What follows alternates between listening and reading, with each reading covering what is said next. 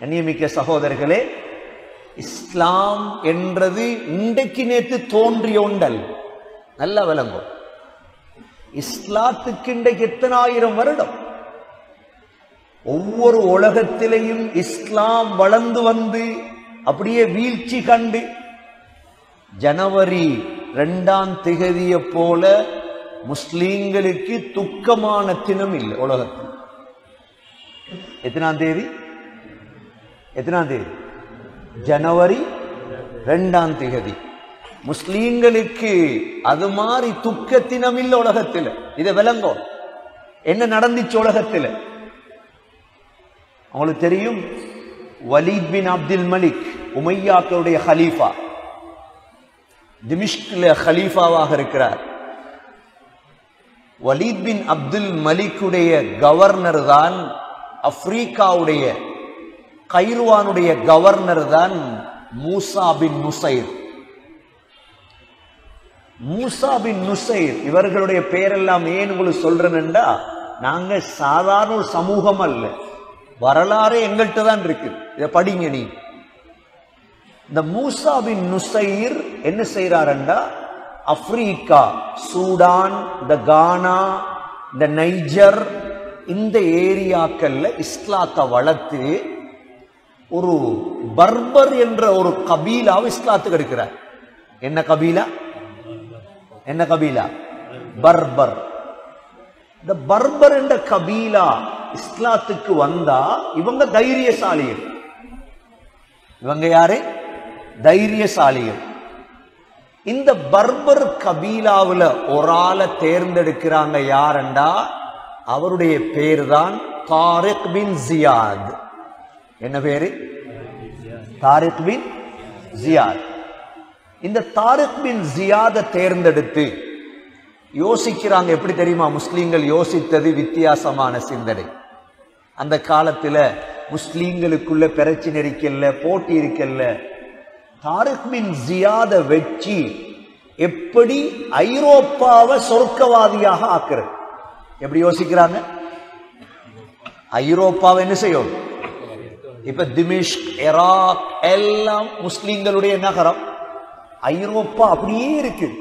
இப்ப நாங்க இங்க இருந்துட்டு எங்கட காரைதீவையும் ஒவ்வொரு ஊரையும் யோசிக்கிறத போல். இப்ப என்ன செஞ்சாங்க? சரி தாரிக் பின் ஜியாதுக்கு முன்னால மொரோக்கோ நீங்க ஜியோகிரபியில படிச்சிருப்பீங்க மொரோக்கோ வழியால தான் இந்த ஸ்பெயினுக்குள்ள நுழையும். மொரோக்கோ வழியால். மொரோக்கோல இருந்து ஆக கிட்ட உள்ள ஊர் தான் தஞ்சா. ஊர்ற பேர் என்ன? தஞ்சா. இந்த தஞ்சால யுல்யான் யுல்யான் என்ற ஒரு முஸ்லிம் தலைவரை நியமிச்சார் ஏண்டா ஸ்பெயினுக்குள்ள இஸ்லாத்தை கொண்டு போகும்? சரி முடிவெடுத்துட்டாங்க. ஹலீஃபா யாரு? Walid bin Abdul Malik. அவர கவர்னர் மூசா பின் நுசைர். அவருடைய படைத்தலைவர் தான் தாரிக் பின் ஜியாத். சரி ரெடி ஆக்கினாங்க தாரிக் பின் ஜியாது கிட்ட சொன்னாங்க எல்லாருமே அஜமிகள் ஏழாயிரம் பேர் கொண்ட படையை தயாரித்தார். பதினாறு அரபிகள் மற்ற ஆறாயிரத்தி சொச்சம் அஜமி பர்பர் கோத்திரத்தை சேர்ந்தவர். கப்பலை தயாரித்தாங்க கடல்ல தான் போகணும். மொரோக்கோல இருந்து கடல்ல கப்பல் போகுது. தாரக் பின் ஜியாதும் கப்பல்ல போறார். இமாம் இபுன் அசீர் ரஹிமஹுல்லா அவங்களுடைய காமில் தாரீഖ்ல வரலாற்று எழுதுறாங்க. அப்படியே கப்பல்ல போகும் பொழுது தாரக் பின் ஜியாத் ஒரு கனவு ஒன்று காண்றார். அந்த கனவுல நபி ஸல்லல்லாஹு அலைஹி வஸல்லம காண்றார் கனவுல. சஹாபாக்களை காண்றார். சஹாபாக்கள் ஸ்பெயினுக்குள்ள உந்துலுசுக்குள்ள நுழையிற மாதிரி காண்றார்.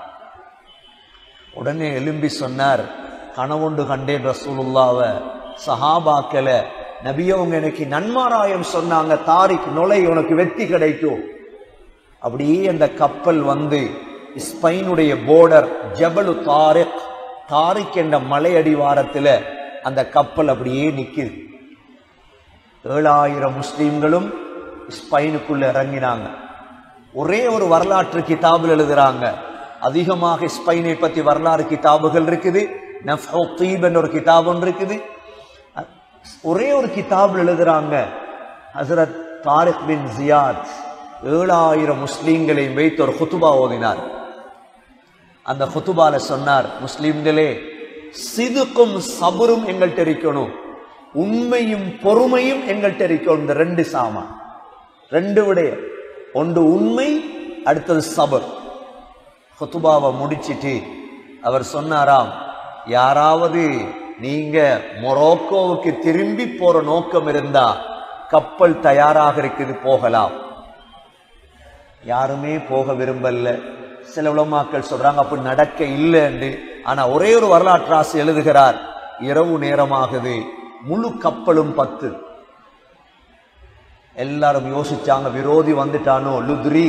அப்பொழுது ஸ்பெயினை ஆண்டது லுத்ரிக் என்ன செஞ்சாங்க? போய் பார்த்தா தாரிக் பின் ஜியாத் கப்பலுக்கு பக்கத்தில் நிற்கிறார் முழு கப்பலையும் பத்த வச்சுட்டார்.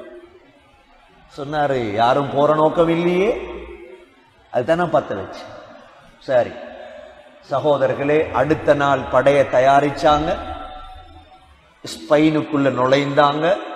ஸ்பெயின் அல்ஹம்துலில்லா முஸ்லீம்களுக்கு தஞ்சாவிலிருந்து தலீத்தலா அப்படியே மாரிதா அப்படியே கர்நாத்தா அப்படியே குர்துபா இஸ்பீலியா ஒந்துலுஸ் அப்படியே ஒவ்வொரு நகரமாக வெற்றி கொள்ள ஆரம்பிச்சாங்க. ஏழாயிரம் முஸ்லீம்களுக்கு முன்னால கிறிஸ்தவர்களால் தாக்கு பிடிக்க முடியல். கலிமாவை சொல்லுங்க இஸ்லாத்துக்கு வா. என்ன செஞ்சாங்க? அல்ஹம்துல்லா ஹிஜிரி நூற்றி முப்பத்தி எட்டாம் ஆண்டு முழு இஸ்பைனையும் எழுநூத்தி பத்தாம் ஆண்டு முழு இஸ்பைனையும் வெற்றி கொண்டார் தாரக் பின் ஜியாத் இந்த தாரக் பின் ஜியாதோடு இஸ்பைனை பாதுகாத்த பெரும் ஒரு ஆலிம் தான் அப்துர் ரஹ்மான் அல் காஃபிகி என்பவர்.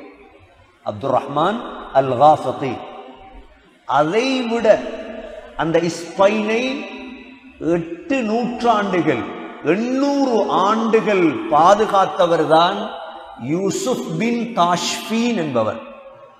யூசுப் பின் பேருகளை சொல்றது எதுக்கென்று நீங்க விளங்கும் அது மாதிரி மக்களை நம்மட ஊர்களில் உருவாக்கும். அப்படிப்பட்டவர்கள் உருவாகணும் தைரியசாலிகள் மார்க்கவாதிகள்.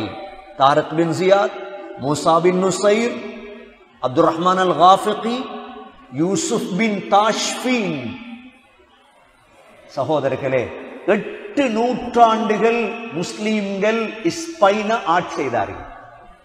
எண்ணூறு வருடம் கிட்டத்தட்ட இஸ்பைன எண்ணூறு ஆண்டுகள் ஆட்சி செய்யும் பொழுது பக்கத்தில் தான் நாங்கள் ஏற்கனவே பலாத்து சுகதா என்ற ஒரு சம்பவத்தை பற்றி தப்சீரில் சொன்னேன் பிரான்சுடைய போர்டரில் நடந்த ஒரு யுத்தம் தான் பலாத்து சுகதா முஸ்லீம்களில் அதிகமானவர்கள் கொல்லப்பட்ட ஒரு யுத்தம் கனிமத்துக்காக. பலாத்து ஷுஹதால. இது பிரான்ஸ் போர்டர் நடக்குது. பாருங்க அந்த காலத்துல ஐரோப்பால் நுழைந்து முழு ஐரோப்பாவுடைய நாகரீகமும் இருந்தது ஸ்பெயின்ல தான். எங்க இருந்துச்சு? ஸ்பெயின்ல ஒந்துலுஸ்ல முஸ்லீம்கள் ஒரு யுத்தத்தால் கிடைத்த கனிமத்தால கட்டினதுதான் குருத்துபா பள்ளிவாசல். குருத்துபா இதெல்லாம் தேடி பாருங்க நீங்க கிடைக்கும். கர்நாத்தாவுல குருத்துபா பள்ளிவாசல். ஒரு யுத்தத்தால் கிடைத்த கனிமத். எவ்வளவு முஸ்லிம் இன்ஜினியர்மார் இருந்தாங்கண்டா? குருத்துபாவுடைய பள்ளிவாசலுக்கு முன்னூத்தி அறுபது கண்ணாடி வச்சாங்க. ஒரு நாளைக்கு ஒரு கண்ணாடியால சூரிய வெளிச்சம் வரும். ரெண்டாவது நாள் ரெண்டாவது கண்ணாடி மூணாவது நாள் மூணாவது கண்ணாடி. எப்படி முஸ்லீம்களுடைய தலை? ஆயிரம் தூண்கள் பள்ளிவாசல் பொருத்துபாவுடைய பள்ளிவாசல் ஆயிரம் தூண்கள். எப்படி வளர்ந்த நாடென்றா? இப்பே தெரியும் ஐரோப்பாவுக்கோ பழங்கள் வாரது ஸ்பெயின்ல இருந்தது. ஸ்பெயினுடைய பழம் தான் ருசி. முஸ்லீம்கள் விவசாயத்தில் முஸ்லீம்கள் கட்டிடக்கலையில் முஸ்லீம்கள் இபாதத்தில் முழுதிலையும் முன்னேறிய காலம். முழுதிலை. முஸ்லீம்கள் தான் உலகத்தை ஆள்றதுக்கு தகுதியானவர்கள் என்று பேசப்பட்ட காலம். இந்த பள்ளிவாசல்ல தான் இப்ப நாம தப்சி நடத்துறோமா இல்லையா? நாம தப்சி நடத்துறோம். ஏன் தப்சீர் நடத்துறோம்? இது எங்கட காலா காலம் நடந்து வந்தோண்டு அந்த பள்ளிவாசலுடைய ஒரு தூணுக்கு பின்னாலதான் இமாம் குருத்துபி இமாம்ட பேர் என்ன? இமாம் குருத்துபி என்ற ஒரு இமாம் இருந்தார். குர்ஆனுக்கு விளக்கம் எழுதினார் இருபத்தெட்டு ஒளிம்ல அவர் ஒரு தூணுக்கு பின்னுக்கு பாடம் நடத்துவார். இப்படி பாடம் நடக்கும் இன்னொரு தூணுக்கு பின்னால் இமாம் இப்னு அப்துல் பர் ஹதீஸுடைய இமாம். இன்னொரு தூணுக்கு இப்படியெல்லாம் மிக சிறப்பாக இருந்த நாடுதான் ஸ்பைன் மிக சிறப்பாக இருந்த நாடு. சொல்ல போனா சொல்லிட்டே இருக்கலாம்.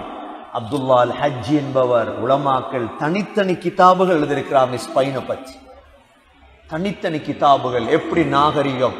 முதல் முதலா டாய்லெட் கட்டப்பட ஸ்பைன் முதல் முதலா. மார்க்க அறிஞர்கள் உந்துலுச தேடி போவாங்க மார்க்கத்தை தேடி ஸ்பெயினுக்கு போவார். இப்படியெல்லாம் இருந்த இந்த நகரம் முஸ்லிம் அரசியல்வாதிகள் தங்களுக்கு மத்தியில் சண்டை பிடித்தாங்க சண்டை பிடிச்சாங்க சண்டை பிடிச்சு என்ன செஞ்சாங்க?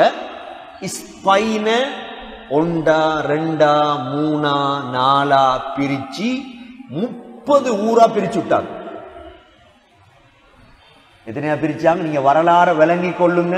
ஒரு சின்ன பிள்ளையாவது விடத்திலிருந்து பாடமாக்கினா இன்னும் ஒரு நூறு வருஷத்துக்கு இந்த வரலாறு அவர் பேசுவார். அதுக்காக தான் நான் பாதுகாத்து வந்து உங்கள்கிட்ட சொல்றேன் அமானிதமா.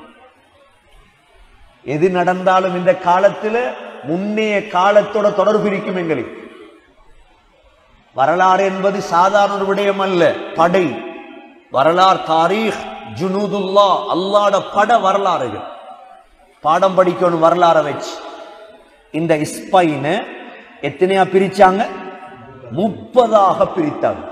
அரசியல்வாதிகள் கலீஃபாக்கள் சண்டை பிடித்து பிடித்து அதுக்கு அரபியில சொல்லுவது முழுகுத் தவாயிஃப். முழுகுத் தவாயிஃப். ஒவ்வொருத்தரும் பிரிச்சு பிரிச்சு பிரிச்சு சண்டை பிடிச்சு அவங்களுடைய பதவிக்காக.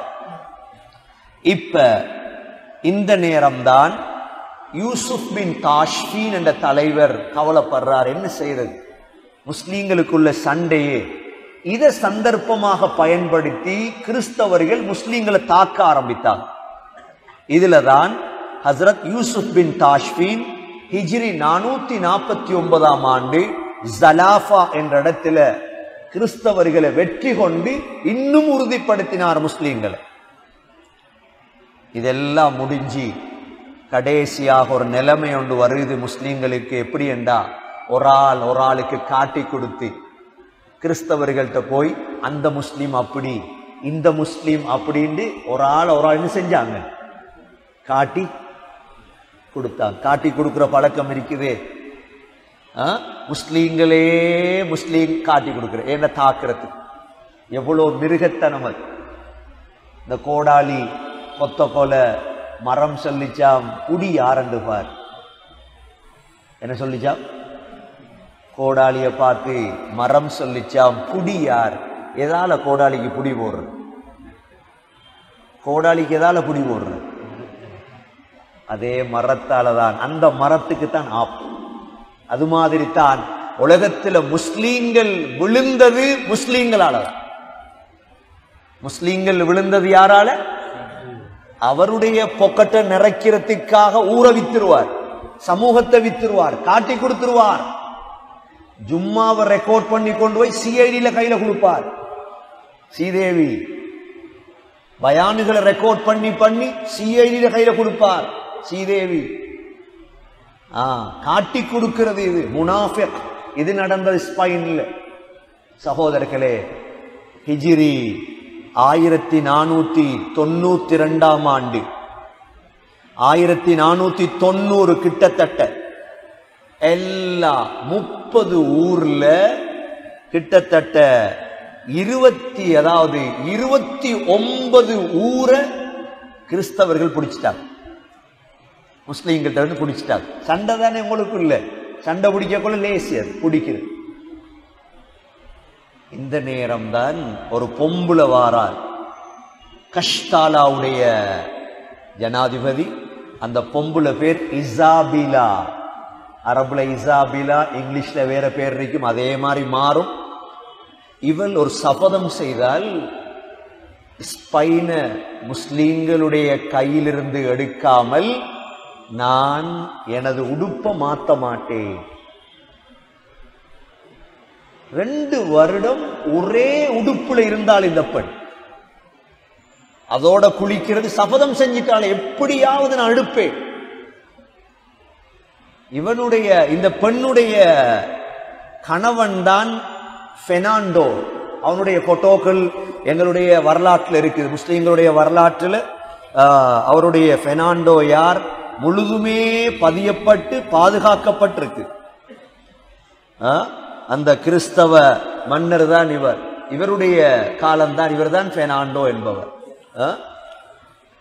இந்த போட்டோஸ்ல இருக்கக்கூடியவர் தான் அவர். என்ன செஞ்சார்? சரி முடிவெடுப்போம். எப்படியாவது முஸ்லீம்களை தாக்குறதுன்னு முடிவெடுத்து கடைசி ஊர் மீதமாக இருந்தது கர்நாகா என்ன ஊர்? இருபத்தி ஒன்பது ஆட்சியும் போயிட்டு கர்நாத்தா மாத்திரம் மீதமாக இருக்குது. இந்த நேரம்தான் கர்நாத்தாவை ஆண்டு கொண்டிருந்த கடைசி மன்னர் தான் அபு அப்தல்லா முஹம்மது என்பவர். இந்த கடைசியாக இருக்கக்கூடிய போட்டோ அவருடையது. அபு அப்துல்லா முஹம்மது என்பவர் தான் இவர்தான் கடைசியாக ஸ்பெயின் ஆட் செய்தவர். இவர் என்ன செஞ்சார்? இவரோட கிறிஸ்தவர்கள் பேசினார்கள்.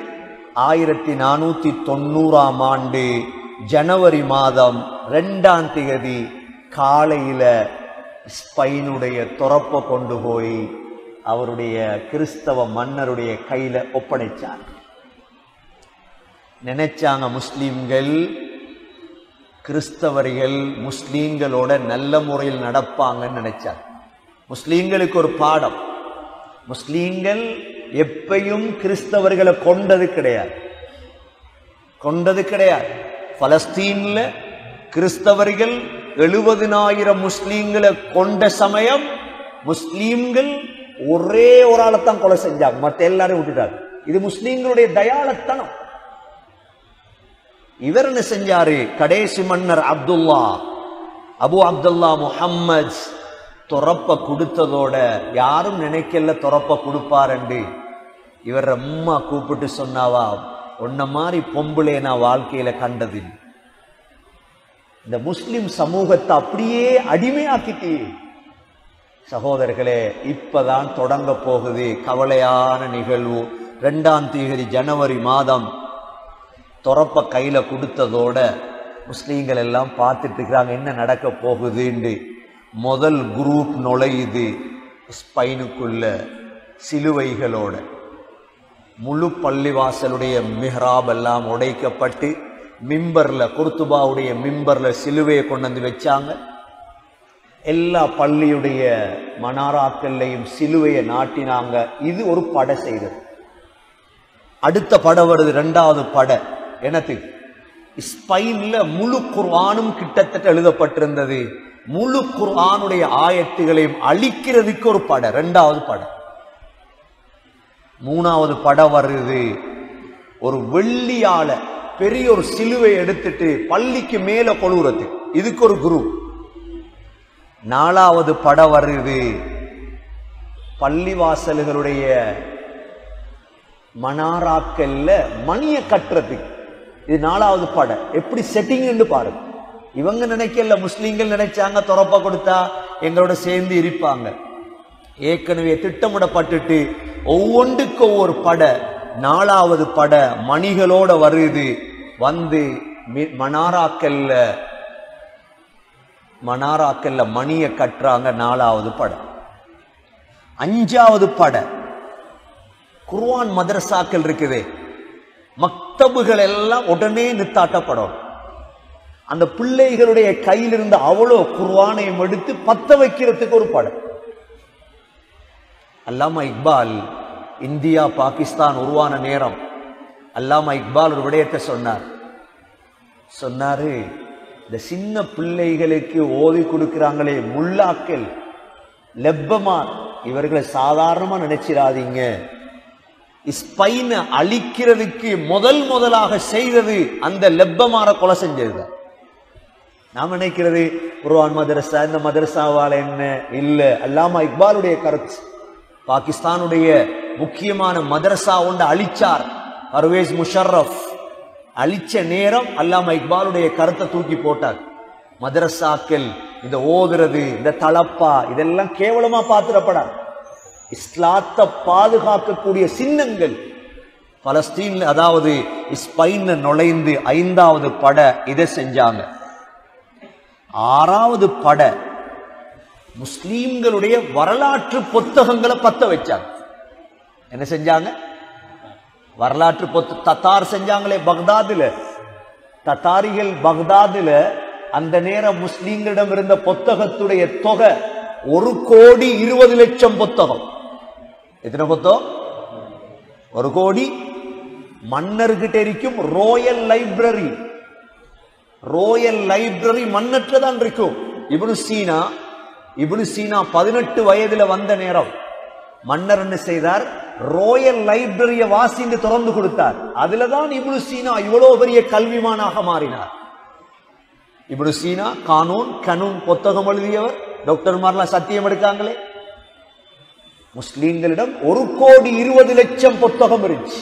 இதே நேரம் ஆங்கிலேயர்களிடம் ரெண்டாயிரம் புத்தகம் தான் இருந்துச்சு. முதல் வேலை வரலாற்றை அழிக்கிறதுக்கு ஆறாவது படை என்ன செய்தார்கள்? முழு புத்தகத்தையும் எரித்தார்கள். முஸ்லீம்கள் இமாம் குர்துபியுடைய இப்னு அப்துல் பர்ருடைய புத்தகங்கள்.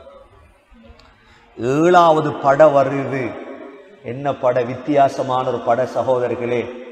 முஸ்லீம்களுடைய நெகத்தை கலத்துறதுக்கு ஒரு படம் வேதனை ஸ்டார் எவனை பிடிச்சாலும் முதல் நெகத்தை கலத்துறது ஏழாவது படம் எட்டாவது படம் வருது அடுத்தது. முஸ்லீம் கொமரு பெண்களுடைய மார்ப எப்படி இருந்திருக்கு? உலமாக்கள் என்ன செஞ்சிருப்பாங்க? யோசிச்சு ஒரு ஷைத்தான் ரெண்டு ஷைத்தான் எல்லாம் சமூகம் கெடுறது. நல்லா ஞாபகம் வச்சுக்கொள்ளும். ஒருவன் காட்டி கொடுத்துருவான். ரெண்டு பேர் காட்டி கொடுத்துருவான் ஊரை. என்ன நடக்குது பாரு? சாவியை கொடுத்தானா?